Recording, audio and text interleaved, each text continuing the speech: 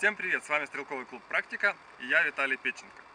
Один из самых популярных вопросов, которые задают инструкторам нашего клуба, это какие апгрейды, аксессуары должны быть на ружье для самообороны.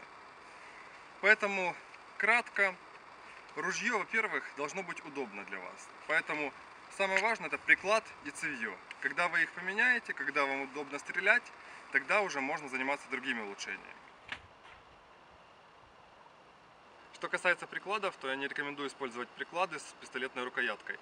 Они достаточно травматичны для запястья.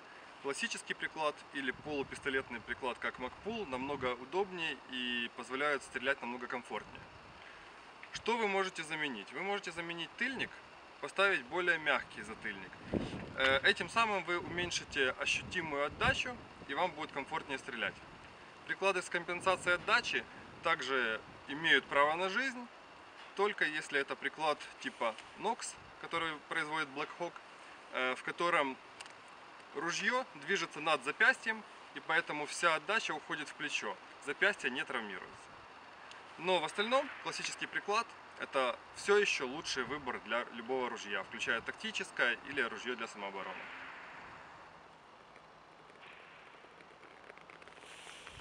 И первое улучшение, которое я рекомендую на своих семинарах, это фонарик.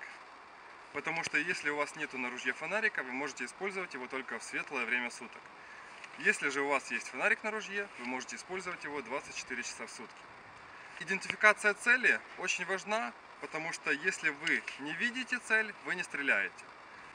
Если ночью вы услышали шум, взяли ружье, спустились на кухню, это может быть всего лишь теща, которая вышла попить водички. Поэтому, если мы не видим цель, мы не стреляем.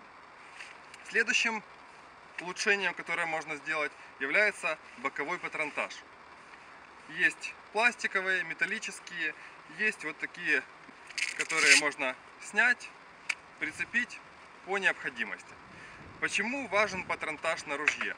Потому что в случае ситуации, когда вам придется использовать ружье, вы берете его из сейфа, оно у вас в целях безопасности разряжено, у вас есть только те патроны, которые на ружье. 6-8 патронов из патронташа более чем достаточно для ситуации самообороны. Если в ситуации самообороны вам не хватило 6-8 патронов, это уже не самооборона, а такой небольшой вооруженный локальный конфликт. Это второе улучшение, которое вы можете установить на свое ружье. Остальные улучшения зависят от марки ружья, которое у вас есть.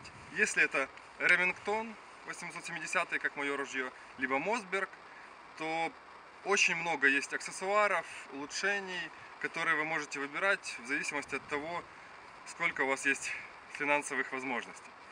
Там можно увеличивать кнопку предохранителя, э, менять подаватель, поставить тритиевые прицельные приспособления, которые светятся в темноте без каких-либо батареек. Поэтому все зависит только от вас. Единственное улучшение, которое я не рекомендую, это коллиматор. Потому что коллиматорный прицел, который держит отдачу 12 калибра, стоит около 500 долларов. На эти деньги я рекомендую купить патронов и научиться стрелять. Коллиматор на ружье эффективен и удобен только при стрельбе пулей на дальней дистанции. Ружье это оружие ближнего боя, поэтому на короткие дистанции вполне достаточно мушки и целика, либо мушки, для того, чтобы эффективно стрелять и поражать в мишени цели. Приходите к нам на тренировки, мы расскажем вам еще больше. Спасибо за внимание.